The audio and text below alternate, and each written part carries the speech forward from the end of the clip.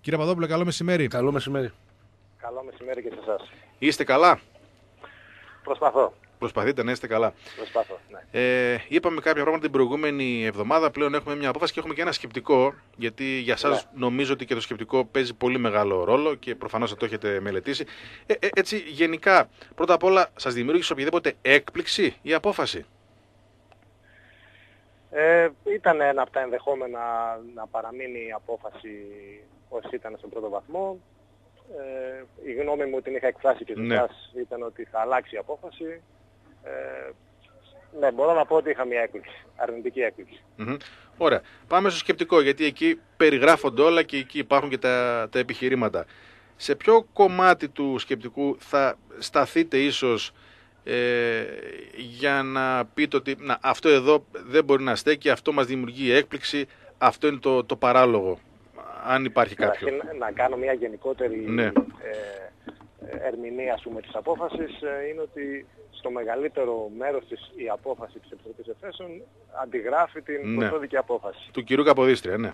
του κ. Καποδίστρια που δείχνει ότι ε, η Επιτροπή Εφέσεων ε, από τη στιγμή που αποφάσισε ότι θα παραμείνει η απόφαση ως ήταν δεν μπήκε στον κόπο να διορθώσει κάποια κακό κείμενα της πρώτης απόφασης ε, αρκέσει στο να το αντιγράψει.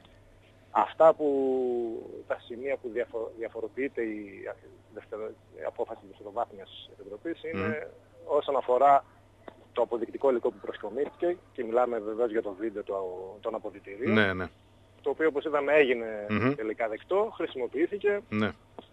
Είδαν όλοι ότι υπήρχε το σφύριγμα του διαιτητή Κομίνη ε, στο χώρο των αποδητηρίων και μείναμε με την ερμηνεία του σφυρίγματος με την οποία διαφωνώ και νομίζω ότι οποιοδήποτε γνωρίζει λίγο από ποδόσφαιρο δεν μπορεί να δεχτεί ότι αυτό που λέει η απόφαση είναι σωστό.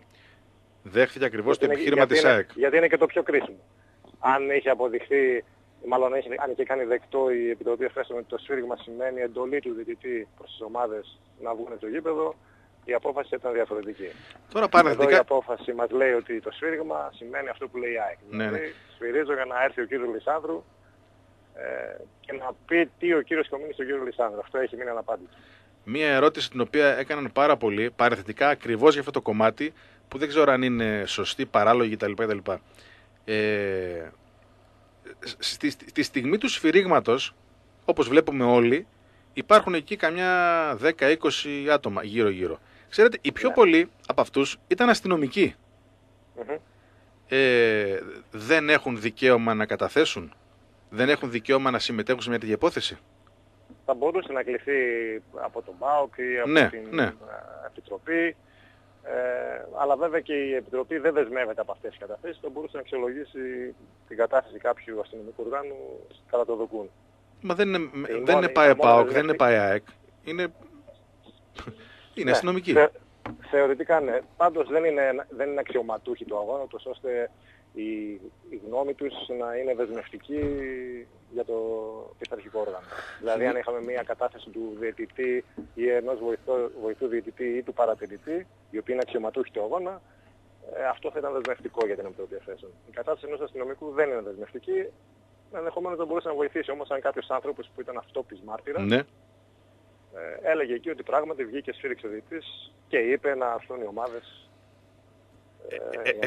Εκτελήσονταν ένας διάλογος του κυρίου Κομίνη με τον κύριο Κωνσταντινίδη του Παντελή. Ε, εκείνοι οι δύο είναι κυρίως.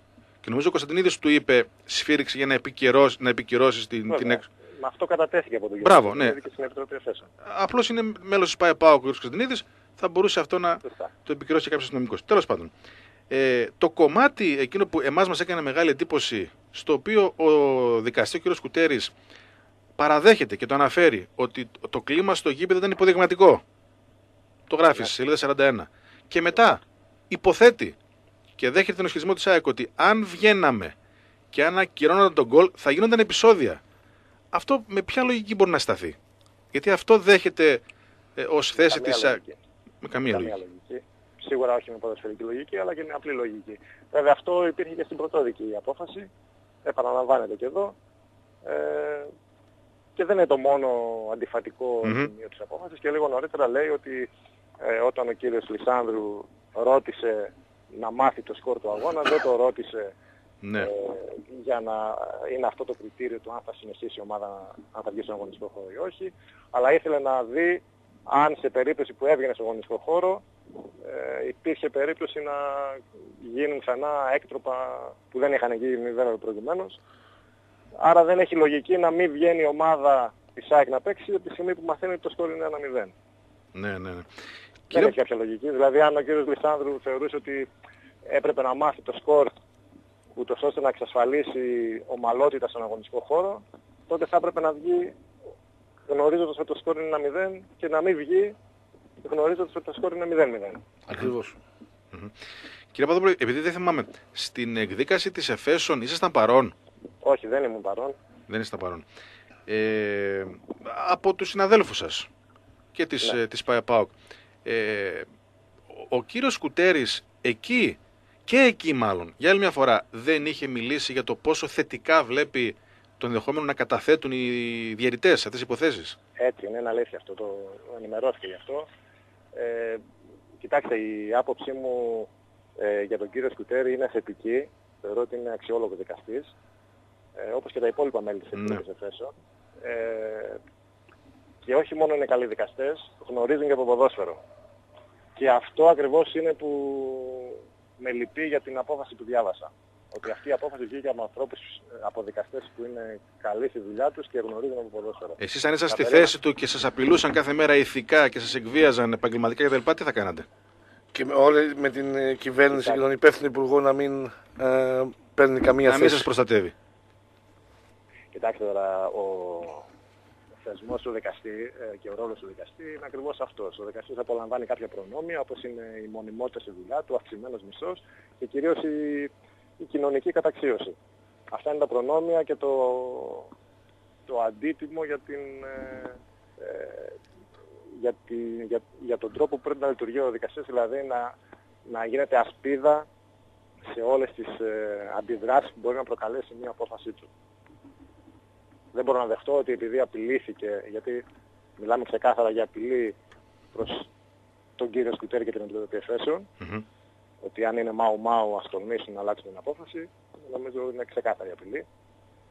Ε, αλίμονο αν μπορούμε να δεχτούμε ότι είναι λογικό να επηρεάζεται ένας δικαστής από αυτή την έκφραση ή από τις αντιδράσεις που ενδεχομένως θα προκαλούσε, όχι ενδεχομένως, με βεβαιότητα θα προκαλούσε η ανατροπή της απόφασης ε, ε, του πρωτοβάθμιου δικαστηρίου. Πώς να εξηγηθεί κύριε Παπαδόπουλο ότι ήταν έτοιμος, ήταν θετικός; Και είναι πολύ λογικό να καλέσει τον Κομίνη και δεν έκανε ούτε αυτό.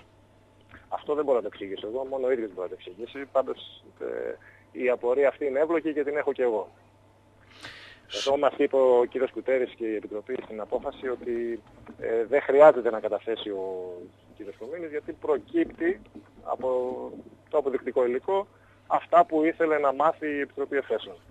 Δηλαδή ότι σφύριξε και ότι το σφύριγμα δεν σημαίνει Ναι. εντολή να βγουν οι ομάδες στο γήπεδο αλλά να έρθει ο κύριος Λισάνδρου ενώπιον του διαιτητή. Ναι. Βέβαια τώρα δεν ξέρω πώς προκύπτει αυτό. Υπόθεση είναι. Δεν, τι, τι- Έτσι, Είναι υπόθεση ακριβώς. Από όλο το Δεν έχει σκεπτικό ποδοσφαιρική λογική. Μμμ. Υ- υπάρχει κάποιο σημείο που έστω για το θέμα του κυρίου Σαββίδη περί απειλής ή όχι διαφοροποιεί το κύριο Κουτέρης από την πρωτόδικη απόφαση που μπορεί να χρησιμοποιηθεί στο διαιτητικό; Κανένα σημείο. Κανένα. Ε, όσον, αφορά, όσον αφορά τον κύριο Σαββίδη έχουμε αντιγραφεί ε, τις σκέψεις ε, του κύριου Καποδίστρια. Και τι κάναν τόσες μέρες, κύριε Παπαδόπουλο. Ναι. Πας και να τύπο διακοπές στη Μύκονο και μετά κάναν ένα copy paste και την ξαναβγάλανε. Δεν το γνωρίζω. Τι να σας πω τώρα, αυτό μόνο οι ίδιοι μπορούν να απαντήσουν. Πάντως η υπόθεση δεν ήταν εύκολη, ούτε είναι εύκολη. Δεν ήταν εύκολο, αλλά άμα μιλάμε για copy paste, τι να. Μόνο τα σημεία Ναι, τα δεν ήταν οποία. copy-paste, είχε, Ναι. είχε κάποια σημαντικά σημεία που διαφοροποιείται όσον αφορά τον αγώνα κυρίως. Είναι η χρήση του βίντεο, αλλά τα συμπεράσματα εμένα τουλάχιστον δεν με, δεν με πείσουν ότι υπήρξε ορθή κρίση. Μάλιστα. Ε, τ- τώρα η διαδικασία στο διαιτητικό χρονικά πώς ε, είναι ακριβώς, πότε μπορεί να υπάρχει η οριστική απόφαση; Που καταλαβαίνουμε Πάντα ότι δεν είναι πολλές και στην πιθανότητες να αλλάξει, αλλά Ναι, δυστυχώς. Ε, πλέον παίζουμε με τις πιθανότητες. Ε, υπάρχει μια προθεσμία μέσα τη Δευτέρα για να κατηθεί η προσφυγή.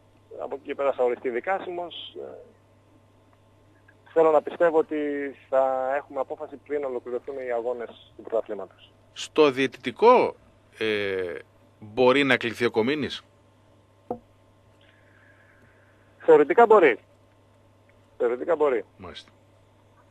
Είτε να το ζητήσει ξανά ο ΠΑΟΚ ή η ΑΕΚ ή κάποια ομάδα ένας Ναι, διάδικος, ναι, ναι. είτε και η ίδια, το ίδιο το δικαστήριο. Μάλιστα. Ωραία. Ευχαριστούμε πολύ για τη συζήτηση. Να είστε καλά. Να είστε Καλά, καλά, παιδιά. καλό μεσημέρι. Καλό μεσημέρι. Ευχαριστώ, γεια σας.